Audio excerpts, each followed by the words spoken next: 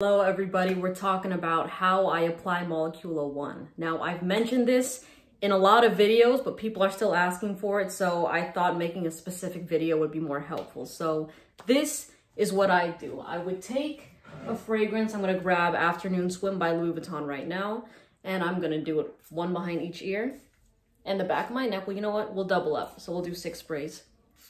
And then I grab Molecule 01 and then just spray it on those exact same spots. I don't mind doing six for this one just because on me, I mean, I don't mind overspraying this fragrance. Some people think two is too much for this scent, but on my skin, it's totally fine, right? So when I do that, I've just noticed that my performance lasts a very long time. Now, I have done it the other way.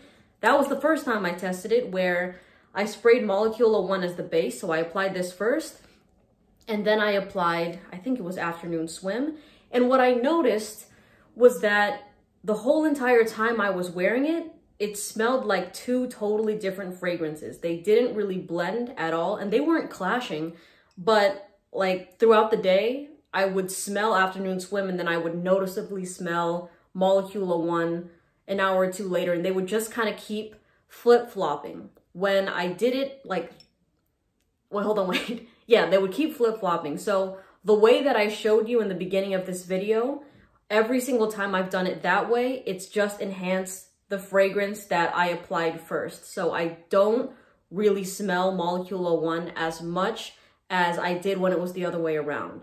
Now, sometimes I would catch the occasional whiff of this fragrance when I apply it second, but it's it's not that much for the most part. And I mean, I love the smell of this. But yeah, so I remember the first video I made talking about how I layered this first, somebody said to do it the other way around because it helps, and that has definitely helped me. And it's funny because when I've made videos about how I applied, you know, afternoon swim and then this one, people were telling me, oh, you're supposed to do it the other way around. So it's all about preference. If it holds on you better to apply this first, then do that. But for me, it works when this is second. And for the most part, I mean, I love wearing this on its own. So I hope that was helpful. I'll put a discount site link for Molecule 01 in the description in case you're interested. I know I've been talking about that a lot, but I've been seriously getting so many questions about it.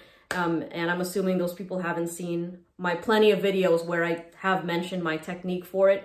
But yeah, I hope that was helpful and I hope you have a great day and I'll see you in the next video. Bye.